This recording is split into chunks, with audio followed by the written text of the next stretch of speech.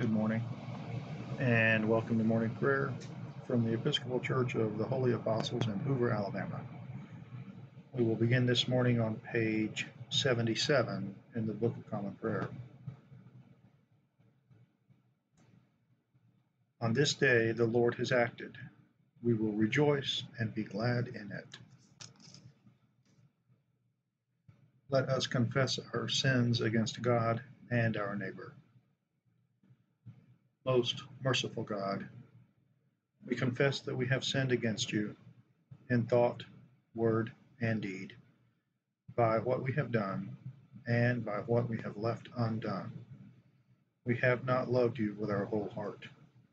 We have not loved our neighbors as ourselves. We are truly sorry, and we humbly repent. For the sake of your Son, Jesus Christ, have mercy on us and forgive us that we may delight in your will and walk in your ways, to the glory of your name. Amen. Almighty God, have mercy on us. Forgive us all our sins through our Lord Jesus Christ. Strengthen us in all goodness, and by the power of the Holy Spirit, keep us in eternal life. Amen. Lord, open our lips and our mouth shall proclaim your praise. Glory to the Father, and to the Son, and to the Holy Spirit, as it was in the beginning, is now, and will be forever. Amen. Alleluia. Alleluia. The Lord is risen indeed. Come, let us adore him. Alleluia. Alleluia.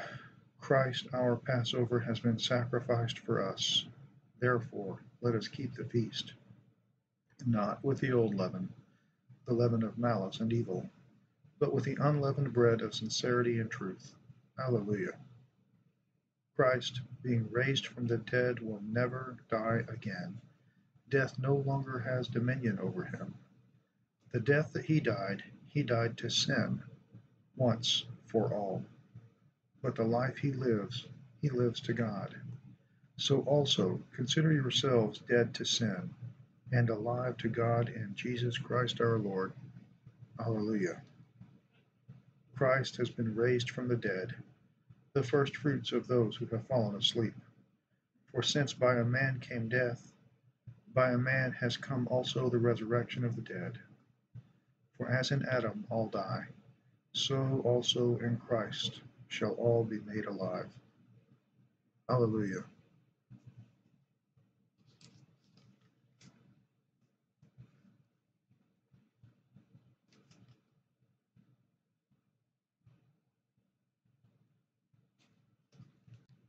The psalm appointed for this morning is Psalm 25.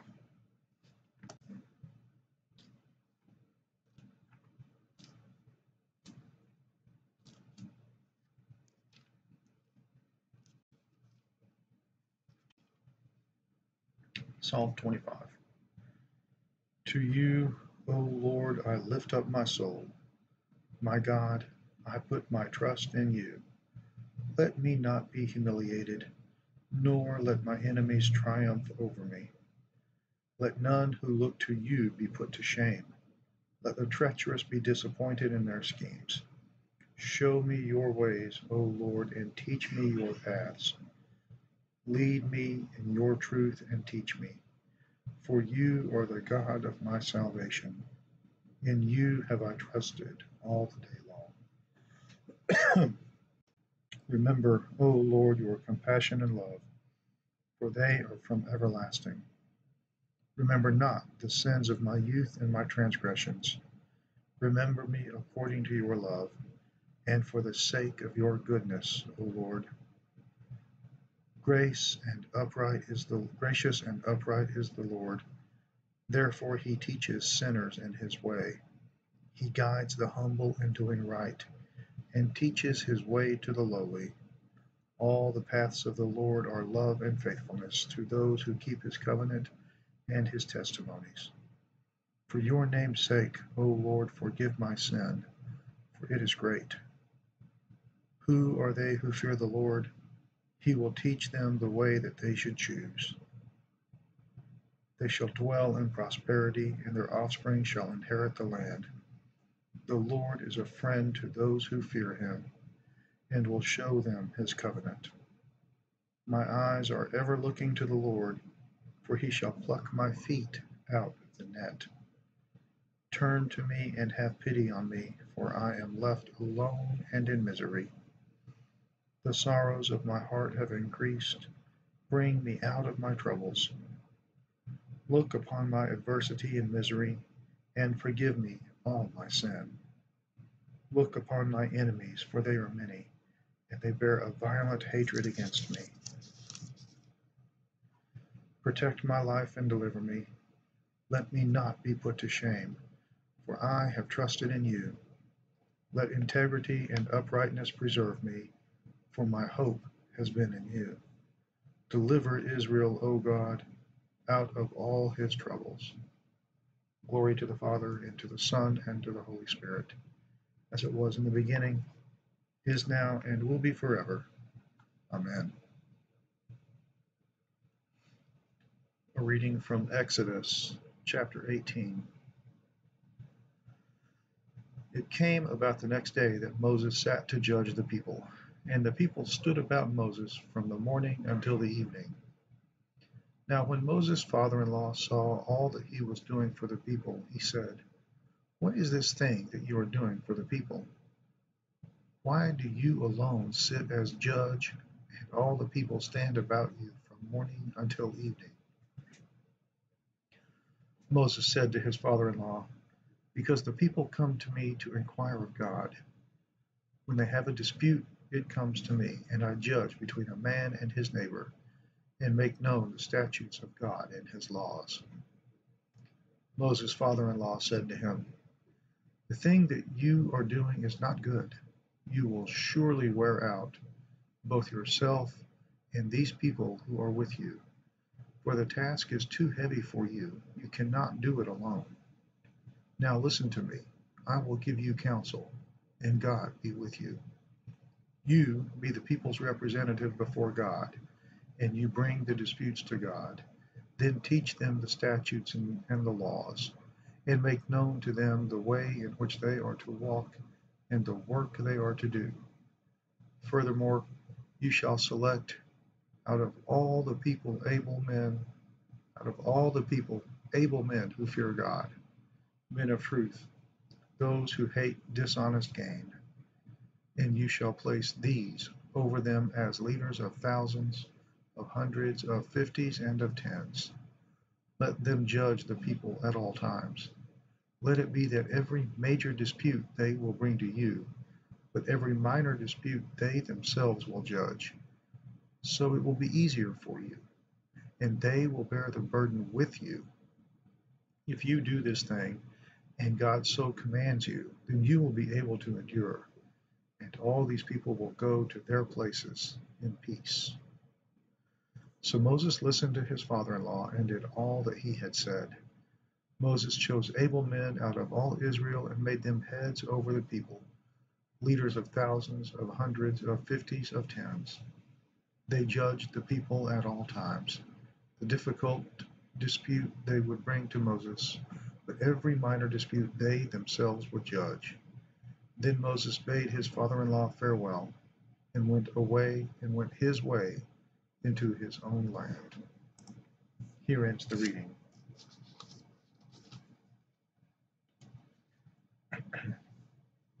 Arise, shine, for your light has come, and the glory of the Lord has dawned upon you. For behold, darkness covers the land, deep gloom enshrouds the peoples. But over you the Lord will rise, and his glory will appear upon you. Nations will stream to your light, and kings to the brightness of your dawning. Your gates will always be open. By day or night they will never be shut.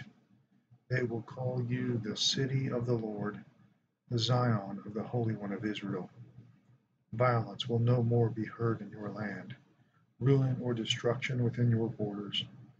You will call your walls salvation and all your portals praise.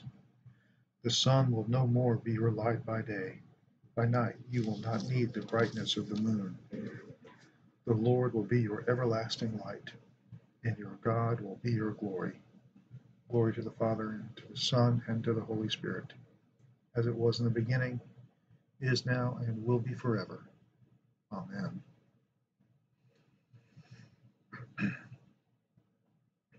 A reading from the first epistle of Peter, chapter 5. Therefore, I exhort the elders among you as your fellow elder and witness of the sufferings of Christ, and a partaker also of the glory that is to be revealed. Shepherd the flock of God among you, exercising oversight not under compulsion, but voluntarily, according to the will of God, and not for sordid gain but with eagerness, nor yet as lording it over those allotted to your charge, but proving to be examples to the flock. and when the chief shepherd appears, you will receive the unfading crown of glory. You younger men likewise be subject to your elders, and all of you clothe yourselves with humility toward one another, for God is opposed to the proud but gives grace to the humble. Therefore, humble yourselves under the mighty hand of God, that he may exalt you at the proper time, casting all your anxiety on him, because he cares for you. Be of sober spirit, be on the alert. Your adversary, the devil, prowls around like a roaring lion, seeking someone to devour. But resist him, firm in your faith knowing that the same experiences of suffering are being accomplished by your brethren who are in the world.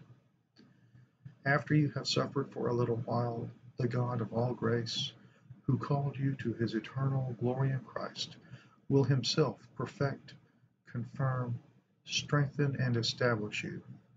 To him be dominion forever and ever. Amen. Through Silvanus, our faithful brother, for so I regard him. I have written to you briefly, exhorting and testifying that this is the true grace of God. Stand firm in it. She who is in Babylon, chosen together with you, sends you greetings, and so does my son Mark. Greet one another with a kiss of love. Peace be to you all who are in Christ. Here ends the reading.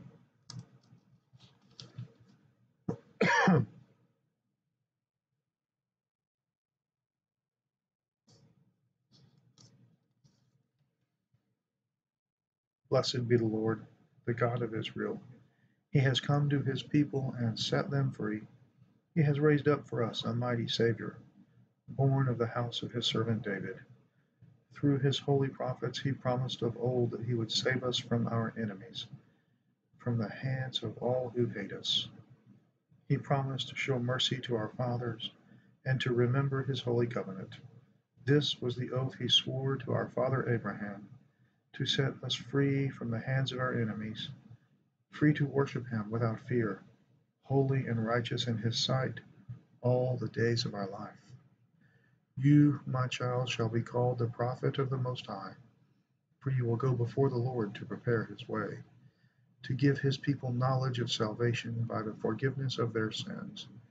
In the tender compassion of our God, the dawn from on high shall break upon us, to shine on those who dwell in darkness and the shadow of death, and to guide our feet into the way of peace.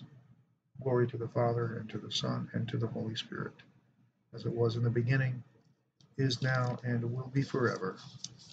Amen.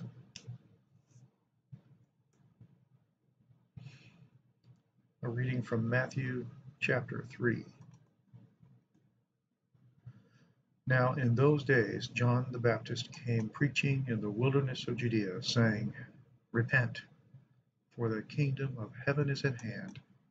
For this is the one referred to by Isaiah the prophet when he said, The voice of one crying in the wilderness, Make ready the way of the Lord, make his paths straight. Now John himself had a garment of camel's hair and a leather belt around his waist, and his food was locusts and wild honey.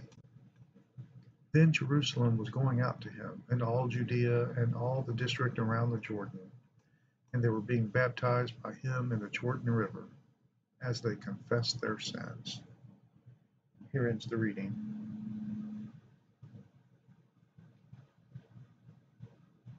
I believe in God, the Father Almighty, creator of heaven and earth. I believe in Jesus Christ, his only Son, our Lord. He was conceived by the power of the Holy Spirit and born of the Virgin Mary. He suffered under Pontius Pilate, was crucified, died, and was buried. He descended to the dead. On the third day he rose again. He ascended into heaven and is seated at the right hand of the Father. He will come again to judge the living and the dead. I believe in the Holy Spirit, the Holy Catholic Church, the communion of saints, the forgiveness of sins, the resurrection of the body, and the life everlasting. Amen. The Lord be with you, and also with you. Let us pray. Our Father, who art in heaven, hallowed be thy name. Thy kingdom come, thy will be done, on earth as it is in heaven. Give us this day our daily bread, and forgive us our trespasses, as we forgive those who trespass against us. And lead us not into temptation, but deliver us from evil. For thine is the kingdom, and the power, and the glory, forever and ever. Amen. Show us your mercy, O Lord, and grant us your salvation. Clothe your ministers with righteousness. Let your people sing with joy. Give peace, O Lord, in all the world, for only in you can we live in safety. Lord, keep this nation under your care and guide us in the way of justice and truth. Let your way be known upon earth, your saving health among all nations. Let not the needy, O Lord, be forgotten, nor the hope of the poor be taken away. Create in us clean hearts, O God, and sustain us with your Holy Spirit. O God, whose blessed Son made himself known to his disciples in the breaking of bread, open the eyes of our faith, that we may behold him in all his redeeming work who lives and reigns with you in the unity of the Holy Spirit, one God, now and forever. Amen. But chiefly are we bound to praise you for the glorious resurrection of your Son, Jesus Christ our Lord. For he is the true paschal lamb who was sacrificed for us and has taken away the sin of the world. By his death he has destroyed death and by his rising to life again, he has won for us everlasting life. O God, the King eternal, whose light divides the day from the night and turns the shadow of death into the morning, drive far from us all wrong desires, incline our hearts to keep your law, and guide our feet into the way of peace, that, having done your will with cheerfulness during the day, we may, when night comes, rejoice to give you thanks. Through Jesus Christ our Lord. Amen. Lord Jesus Christ, you stretched out your arms of love on the hard wood of the cross, that everyone might come within the reach of your saving embrace. So clothe us in your spirit that we, reaching forth our hands in love, may bring those who do not know you to the knowledge and love of you for the honor of your name. Amen. I invite you to pause the recording now for your own prayers of intercession and thanksgiving, but return for the general thanksgiving.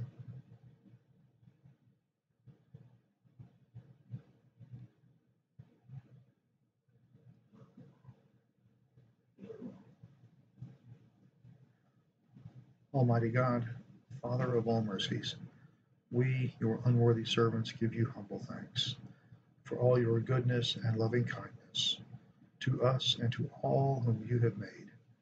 We bless you for our creation, preservation, and all the blessings of this life. but above all, for your immeasurable love in the redemption of the world by our Lord Jesus Christ, for the means of grace and for the hope of glory. And we pray, give us such an awareness of your mercies that with truly thankful hearts we may show forth your praise, not only with our lips, but in our lives, by giving up ourselves to your service and by walking before you in holiness and righteousness all our days. Through Jesus Christ our Lord, to whom with you and the Holy Spirit be honor and glory throughout all ages. Amen. Almighty God, you have given us grace at this time with one accord to make our common supplication to you. And you have promised through your well beloved Son that when two or three are gathered together in his name, you will be in the midst of them. Fulfill now, O Lord, our desires and petitions as may be best for us, granting us in this world knowledge of your truth, and in the age to come, life everlasting. Amen. Let us bless the Lord. Thanks be to God. Glory to God, whose power, working in us, can do infinitely more than we can ask or imagine. Glory to him from generation to generation in the church and in Christ Jesus forever and ever. Amen.